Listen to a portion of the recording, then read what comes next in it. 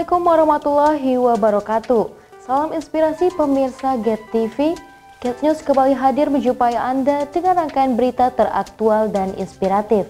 Salah satunya informasi mengenai kedatangan Presiden Republik Indonesia Joko Widodo guna meninjau korban gempa bumi di Kabupaten Lombok Utara akan mengawali Get News kita kali ini.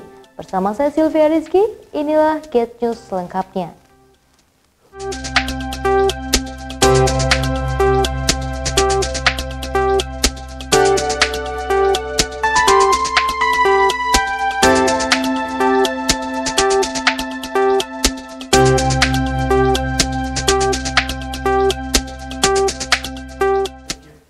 Baik, kita awali dengan informasi pertama.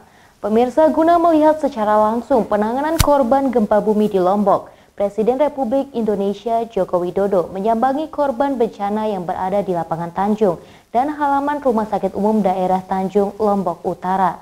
Dalam kunjungan tersebut, Presiden memutuskan untuk langsung menuju ke lokasi ini dikarenakan merupakan daerah yang terkena dampak paling parah di Pulau Lombok. Melihat korban gempa bumi di Lombok, Nusa Tenggara Barat yang semakin bertambah, Presiden RI Joko Widodo langsung bertolak menuju lapangan Tanjung dan Rumah Sakit Umum Tanjung, Lombok Utara, Senin sore. Setibanya di lokasi pengungsian korban, Presiden didampingi oleh Gubernur Nusa Tenggara Barat, Muhammad Zainul Majdi, langsung mengadakan rapat terbatas di dalam posko pengungsian milik BPBD NTB untuk kemudian meninjau dapur umum, posko trauma healing, dan beberapa posko pengungsian korban bencana lainnya. Dalam kunjungan Presiden yang kedua kali ini, Presiden menegaskan untuk memastikan jumlah infrastruktur yang rusak, memprioritaskan perbaikan fasilitas penunjang perekonomian serta fasilitas pendidikan dan kesehatan. Selanjutnya, Presiden Joko Widodo bersama Gubernur Zainul Majdi melanjutkan perjalanan menuju tenda pengungsian untuk bermalam. Dari Kabupaten Lombok Utara, Nusa Tenggara Barat, Hairul Amri, Get TV. Pemerintah Kota Mataram masih melakukan proses verifikasi atas laporan kerusakan rumah warga akibat bencana gempa.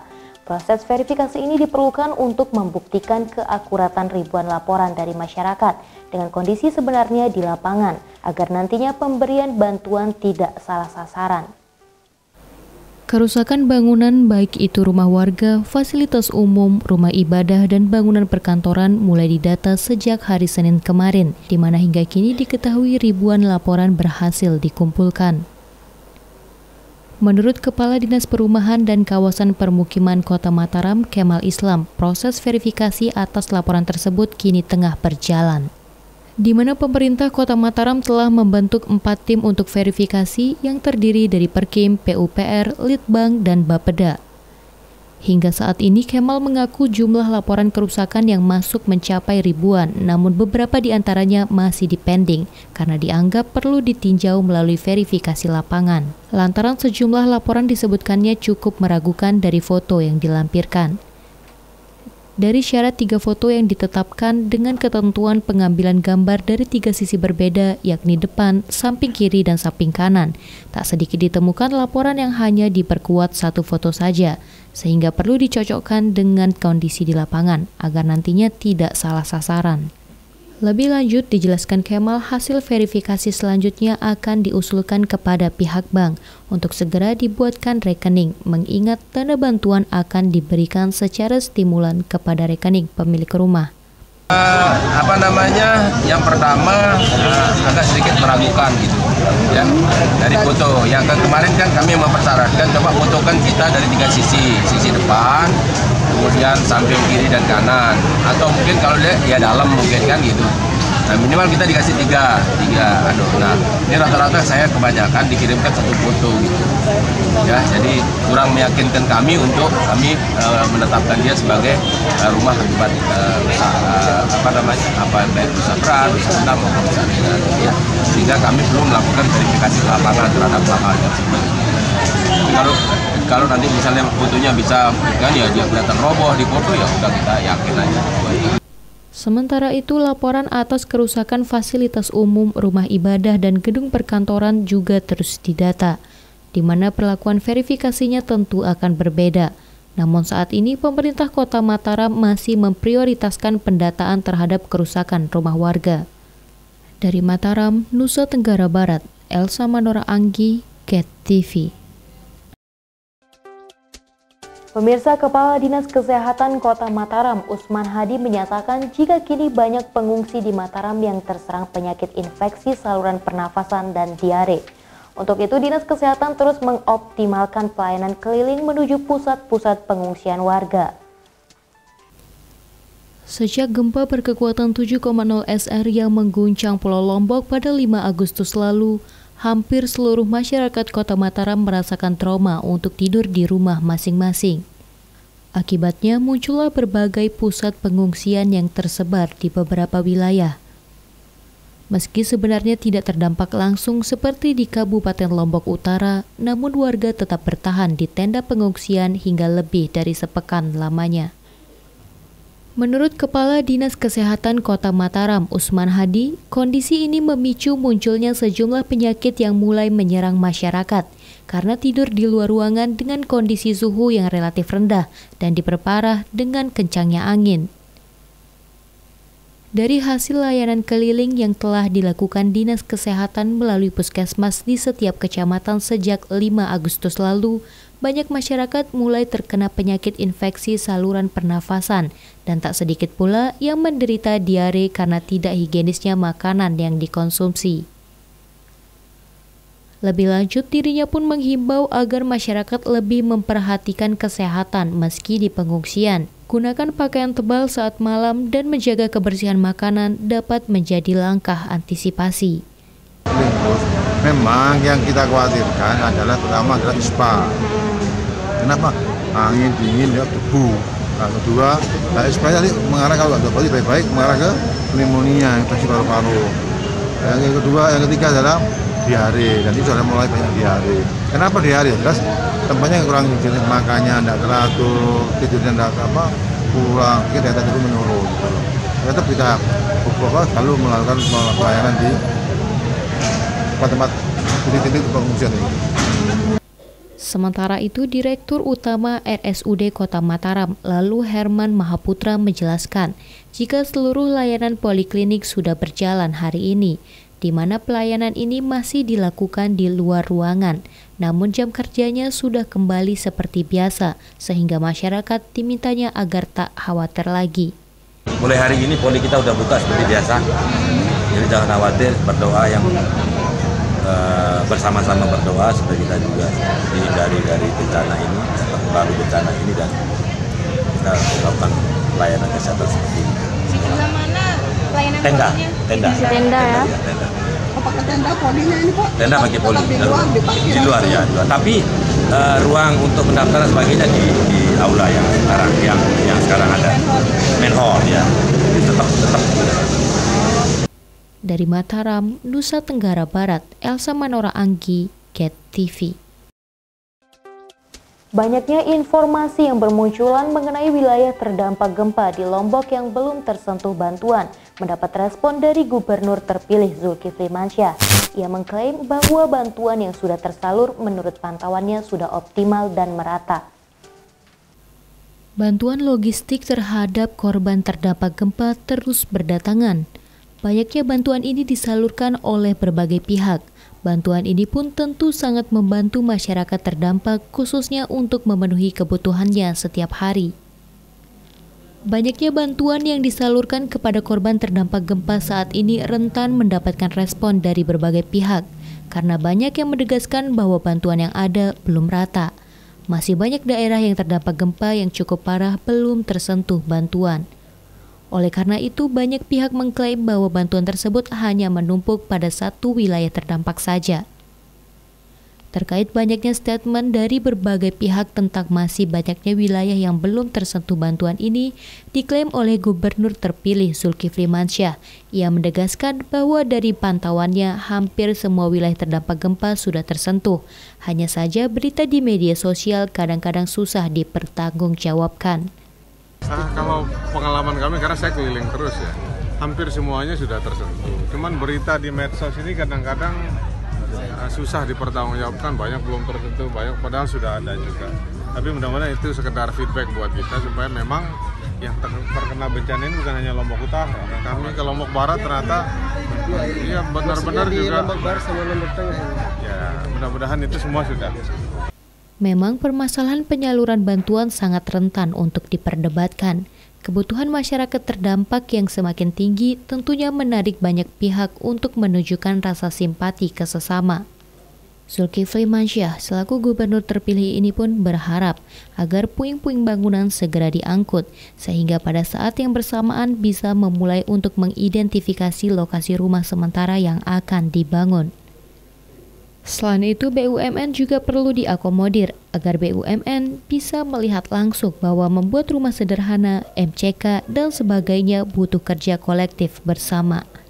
Dari Lombok Utara, Nusa Tenggara Barat, Tim Liputan, GET TV. Pemirsa bencana yang terjadi di Lombok, Nusa Tenggara Barat, khususnya di daerah wilayah terparah Kabupaten Lombok Utara, yang telah meluluh lantahkan daerah tersebut, tentu menjadi tugas berat untuk pemerintah daerah, terutama terkait penataan ulang yang harus dimulai dari awal. Sementara menurut Gubernur terpilih Zulkifli Mansyah mengatakan bahwa kondisi ini justru menjadi kesempatan untuk Pemkap, terutama dalam menata ulang daerah menjadi lebih baik dari sebelumnya. Pasca gempa yang telah meluluh lantahkan bangunan yang ada dan menelan ratusan korban khususnya di daerah terdampak gempa terparah, yaitu di Kabupaten Lombok Utara. Kini daerah tersebut hanya menyisakan puing-puing bangunan. Hampir seluruh wilayah rata dengan tanah. Kondisi ini tentu menjadi tugas yang cukup berat untuk pemerintah daerah, sebab satu kabupaten yang terkena dampak gempa terparah ini harus menata ulang dari awal hingga kondisi di wilayah ini dapat memperoleh kembali penataan yang nyaman seperti sebelumnya.